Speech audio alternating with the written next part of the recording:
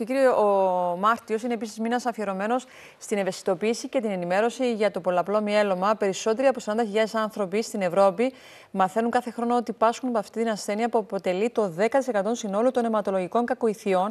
Θα απευθυνθούμε στον πρόεδρο της αιματολογικής εταιρείας, Μιχάλη Μιχάλη, να μας ε, ενημερώσει. Γιατρέ, σας χαιρετώ. Καλό μεσημέρι. Γεια σας, καλό μεσημέρι.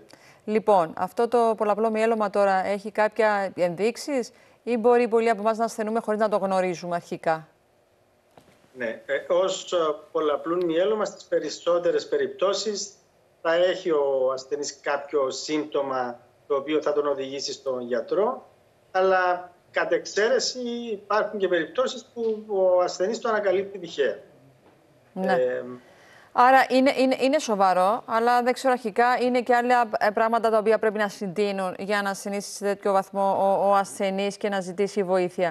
Α ξεκινήσουμε ναι, από το... τι είναι, αν θέλετε, ε, το, το πολλαπλό μυέλωμα. Είναι αιματολογική ασθένεια, κάτι στο αίμα μας δεν λειτουργεί σωστά; Είναι με μια αιματολογική κακοήθεια, η δεύτερη σε συχνότητα mm αιματολογική κακοήθεια.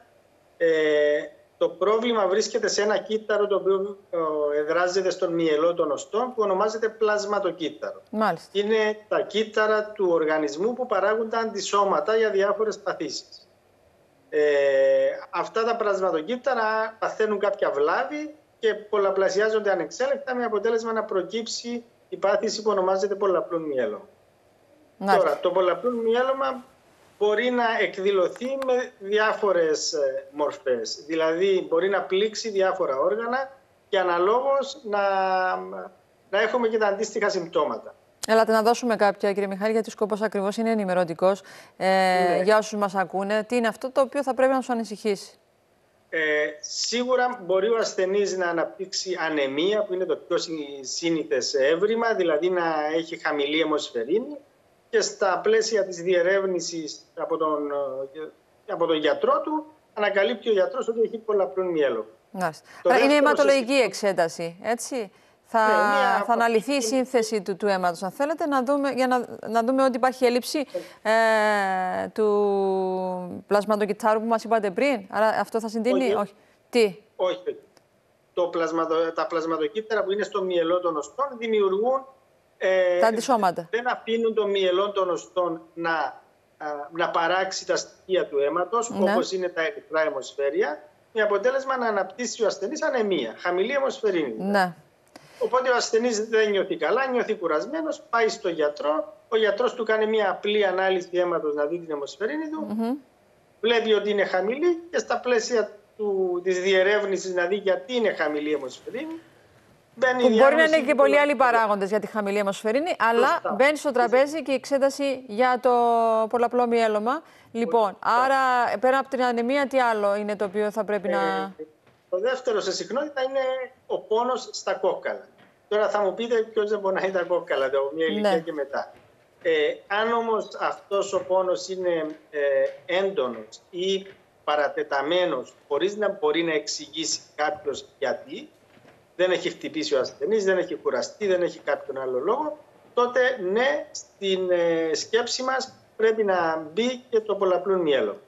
Ναι. Ε, Για να ρωτήσω κάτι, το πολλαπλό μυέλωμα μπορεί να προκύψει ως, ε, αν θέλετε, ε, ένας ε, καρκίνος ε, δεύτερο, μετάσταση, μεταστατικός; Δηλαδή να είναι από κάπου αλλού και να έχουμε τέτοια εξέλιξη; Ουσιαστικά δεν ισχύει αυτό που γνωρίζουμε για τους κλασικούς καρκίνους που, που δίνει μεταστάσεις σε διάφορα όργανα.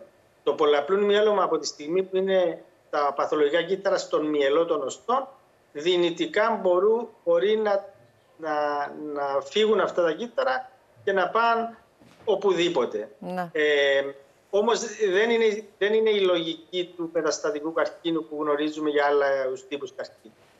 Ε,